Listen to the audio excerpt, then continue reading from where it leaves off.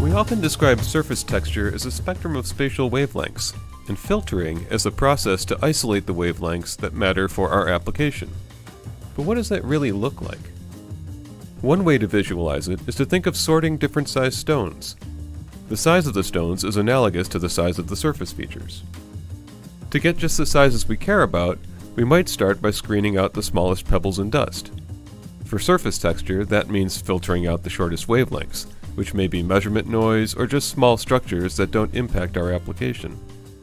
We call this the short filter, or S filter, or lambda S.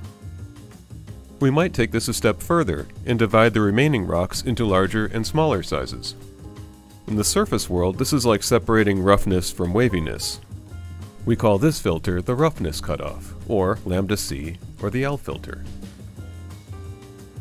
The application determines the size of the filters, and the number of filters as well. For a paint finish, we may need to control several wavelength bands, not just the roughness. There are many ways to visualize surface texture and filtering. To learn more, check out our blog and classes at michmet.com.